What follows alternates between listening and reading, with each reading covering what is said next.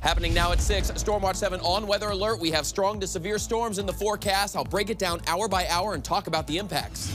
Condo residents vent their anger following a devastating fire. It's ridiculous. They need to do something. Fire hydrants too weak to put it out. 7 News on your side reveals a history of safety issues that goes back years. Also new at 6, more complaints in D.C. about poor mail service. How long apartment residents here say they go without ever seeing a mail carrier at all.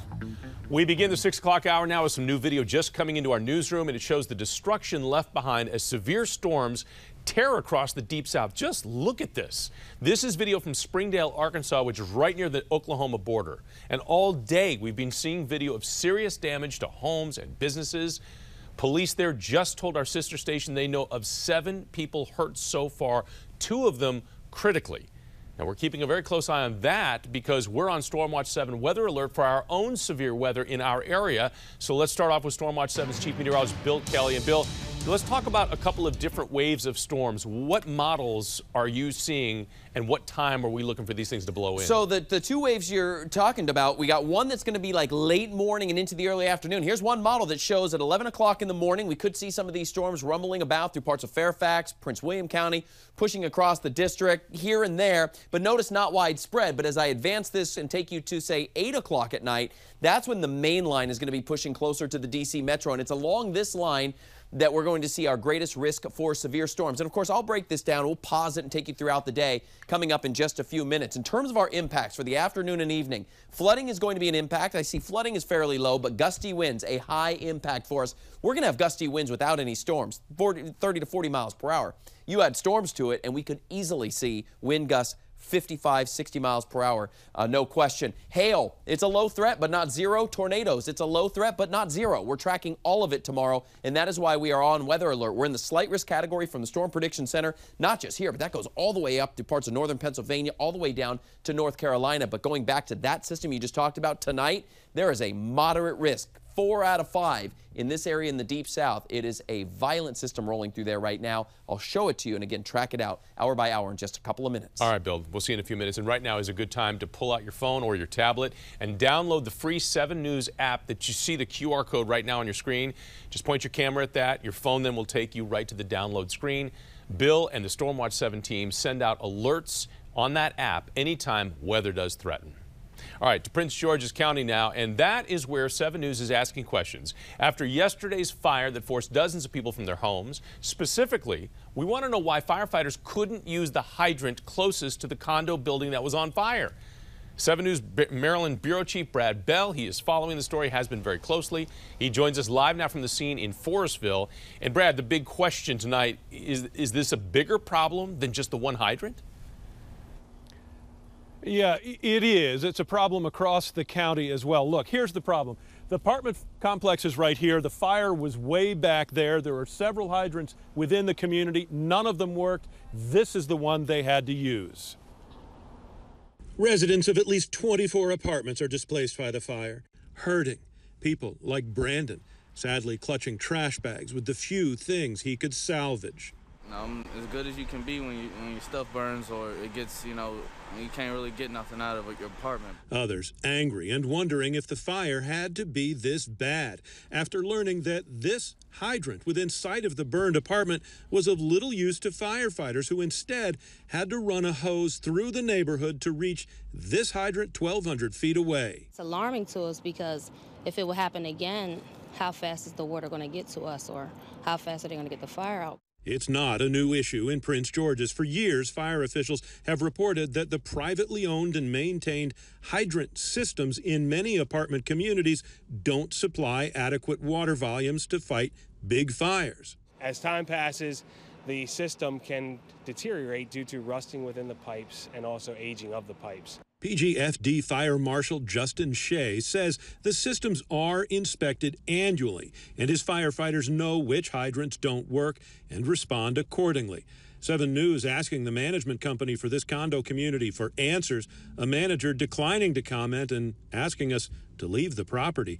That resident, Brandon, also leaving, but not before thanking firefighters for preventing even greater loss. All I know is, you know, people did their job, and, you know, if it's something like that, man, look, stuff happens, but you know, I'm I'm not really one to cause to get blame, man. Well, one employee of this apartment complex telling me that they don't think there is a problem. They actually denied it. But the fire department says that they are working with the community and a third party vendor to try to come up with a solution. We've reached out to the office of the county executive to see if there is anything being done on, on a larger scale because, as I said, we've been talking about this for a very long time. A lot of these systems within these apartments don't work. People who live in them need to understand that they cannot count on those hydrants. In Forestville, Brad Bell, 7 News. That is not good. Brad, thank you. We have new information just in tonight on that other big fire that we followed last night at 6 o'clock. Catholic Charities now say that 27 men who were living in its McKenna house in Northwest D.C. have lost everything. That home is to help people transition out of homelessness. For right now, the men do have a new place to stay, but Catholic Charities has started a funding drive to help them with everything else. They say rebuilding that house could take up to a year. Now to a developing story that we're following in the district where police say they now have captured a 17-year-old after another flash mob style robbery at a high-end store. Police say that teen and three other men burst into the Arc'teryx store on 8th Street Northwest just before noon today. And in seconds, they made off with thousands of dollars in high-end clothes. But they didn't get far. Police say responding officers tried to stop them and they sped off, but seconds later, the car they were in crashed on K Street and everybody jumped out and ran empty handed. Police believe this same group is responsible for a similar theft just two days ago at Atmos in Georgetown. The thieves there got nearly $20,000 in clothing. The common denominator is that there's intimidation involved. In this particular scenario, all four suspects came in very abruptly. One of them was holding their waistband as if they had a weapon. No weapon was observed. Let me emphasize that. No weapon was found, but they did try to intimidate people in the area, people inside the store. And this really is a problem that 7 News has been tracking for quite some time. So far, police aren't saying if it is connected robberies like the ones we've seen earlier this month in Navy Yard, but we are working to try and get answers on that. And new video just in tonight from Gaithersburg. Reminder to never let your guard down. Just watch. You see that guy just walking in the Chick fil A, he grabs the purse and away he goes. But the purse owner, though, does not give up. She chases him down, and you can see the confrontation just outside through the window. Eventually, the thief gives up and he just runs off. Montgomery County Police now are asking, take a look at the picture right there. It's a very clear picture. If you recognize this guy, police would like to hear from you. And new at 6 o'clock, 7 News on your side is getting some answers about more mail delays for a D.C. community who say they sometimes go weeks without a single delivery. And the D.C. Mansion murders murder, I should say, heads back to the courtroom. 7 News is on your side with why the man convicted says he deserves a new trial. Well, tonight an investigation is underway into two deaths at the Fairfax County Jail in just two days. In both cases, guards found an inmate unresponsive in their cell. Both were taken to the hospital, both died. At this hour, Fairfax County detectives say there is no sign of foul play in either of the deaths, but it also is not clear exactly how they died. 7 News will continue pushing for answers in these cases. And tonight, an appeals court is weighing whether there should be a new trial in D.C.'s Mansion murders. Daron Wint is serving a life sentence for killing a D.C. couple, their son, and their housekeeper before setting their Kalorama home on fire back in 2015. In court filings, though, his attorney says he should get a new trial because they weren't allowed to call certain witnesses. There is no timeline for the judge's decision in this case. And breaking news from Annapolis, that's where the Maryland House just passed the newly redrawn congressional district map because the previous map was called unconstitutional because district lines were drawn in what appeared to give Democrats an advantage. Republicans say the new map is still gerrymandering, but that new map now goes to the judge and Governor Hogan for approval. And the tributes continue tonight for former Secretary of State Madeleine Albright. The chair asked all those present in the chamber, as well as members and staff throughout the Capitol, to please rise for a moment of silence in remembrance of the late Honorable Madeleine Albright, our nation's first woman Secretary of State. Albright died one week ago at the age of 84. We are checking, but so far there has been no word on what public services will be held in her honor. We will pass those uh, that information along to you as soon as it's announced. Well, there's a new honor tonight for late Supreme Court Justice Ruth Bader Ginsburg, and it will include a new donation to the Smithsonian. And a D.C. community says that they often go weeks in between their mail deliveries. So tonight, 7 News is on your side, and we're trying to get answers on why there's so many delivery issues for that neighborhood. All new at 6 o'clock, 7 is on your side getting answers for a D.C. neighborhood that says that their mail deliveries are few and far between. And that's causing some very big problems when people's bills don't get to their homes on time. 7 News D.C. Bureau Chief Sam Ford, he has spent two days digging into this, but you've been covering the story for months. And Sam, you finally got some answers. Well, Jonathan, about all I can say is I got some responses today, unlike yesterday. And today, a letter carrier showed up here. Me and my wife decided to step in, and now we're emailing people such as the postmaster, our local ANC commissioner, as well as our council member. He also called 7 News on your side, and when we arrived yesterday, Ron Young and his neighbors were livid. We made multiple complaints to the Postal Service themselves, and nothing seems to be getting done. We haven't had a regular mail carrier in maybe two years now. I mean, it's, it's just terrible. You be looking for mail, my bills are behind because I know, don't receive them. No response from the Postal Service yesterday, but when we returned today, we noticed a carrier going into their buildings. So, so you got mail today. Is this your regular route? Yes, sir. It is? Uh-huh. But they're saying they're not getting mail. Nah, you can look in the mailbox. They ain't need to check their mail. We did receive a statement today. The Postal Service is committed to making timely mail deliveries. In this situation, carriers couldn't enter the buildings awaiting access keys from each building's management. We apologize for any inconvenience. But residents here deny any key problems. First off, I never saw the mail person come this early in a uh, in it during the day, and so I was very surprised. Usually, when we do get mail on the occasion, it's usually around 7 to 8 p.m. One residence building in a different section of the route said that they may have had key issues. I had to run down and catch him for my check. And he had it? Yeah. What do you think of this? Dad, they need to find a new mail person. And the letter carrier we saw today said to us that this was his regular route. However, Ron Young, who lives here, says this is the first time he has ever seen this letter carrier. And some of the residents here have complained they seem to change letter carriers here every week. Reporting live from Southeast Washington, Sam Ford, 7 News. The plot thickens. Sam, thank you for that. Tonight, as we monitor a tornado outbreak in the Deep South, we are getting a new look at last week's storms. Look at this. Just stop for a second. That is the moment that a twister hit a Jacksboro High School just outside of Fort Worth, Texas. Look at that. The school gym is just destroyed and blown apart. Another camera angle shows the school's principal running through a hallway when the EF3 twister hits. And amazingly, he escaped without injury. Look what's going on out the front door of that school. Holy cow. Glad everybody's okay. And while we track the risk of storms here, that's going to come tomorrow, we do want to take a moment to appreciate the calm today. Ah, new video from the 7 News drone showing the Loys Station covered lot, or bridge.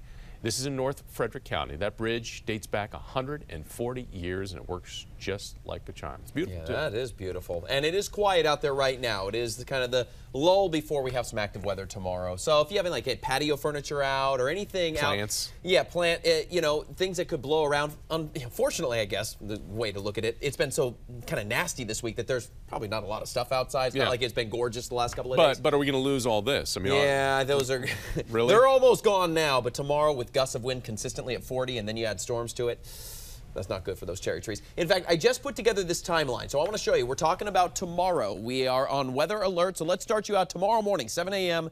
to 10 a.m. We have the clouds that are going to be around, stray showers, not expecting much for your morning commute. Winds are going to pick up, and they're going to be gusty all day long. They're out of the south, so it's going to be a warm day tomorrow. Between 10 a.m. and 6 p.m., so midday into the early afternoon, we're going to see some scattered storms pushing through the area. Locally heavy rain with wind gusts 35 miles per hour or more without the storms. Locally, some of those storms could have stronger winds than that. That's kind of the first wave that moves across. Then we get into the evening, 6 p.m. to 11 p.m. And that, that's when we have widespread storms around the area, and it's along a cold front. So we'll have damaging winds along that cold front, and that's what's going to be the most uh, impactful part of this weather event for you, other than if you're underneath one of these scattered storms a little bit earlier on in the day. And then we get past 11 p.m. tomorrow night. We'll have some showers that will linger into the uh, early morning hours on Friday, but the storm threat will come to an end. So that's the overall timing. Now let me walk you through it uh, visually on the future cast. So tonight, again, we're fine. We got some clouds mixed in with some breaks. It's actually a really nice evening relative to where we've been uh, this past week. I guess relative to this time of year. It's about where we should be. Temperatures up near 60 today. Tomorrow morning, as I mentioned, few scattered light showers for your morning drive, but nothing that's, you know, significantly impactful for you. Winds will start to pick up, and that's these lines that you see moving in from the south. Let me take you into the middle part of the morning. Now you're starting to see these areas of yellow and some red, these scattered storms that are going to be pushing through with the potential for the heavy rain, some lightning, and the very gusty winds. And that will go into your early afternoon. You see 3 o'clock here, but let's stop it at 6 o'clock.